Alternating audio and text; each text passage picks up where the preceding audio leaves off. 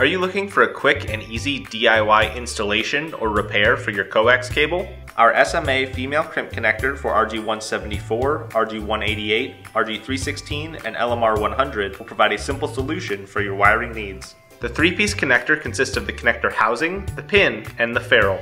For this installation you will need a coax stripper, coax cable, a soldering iron, a crimp tool, and the SMA connector. Keep in mind that you will want to make sure that your coax stripper, crimp tool, and connector match the cable that you are installing. Start by inserting the ferrule over the outer jacket of the cable. Then, using your cable stripper, strip back the outer jacket and dielectric. The advantage of using a cable stripper is that it will strip back the jacket and dielectric at the same time.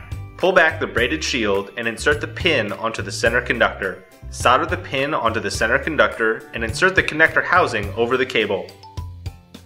Then slide the ferrule up to the base of the connector, folding the shield with it. Crimp the ferrule onto the outer jacket to complete termination. Congratulations, you have successfully installed the SMA female crimp connector. For all of your cable and connector needs, choose Show Me Cables.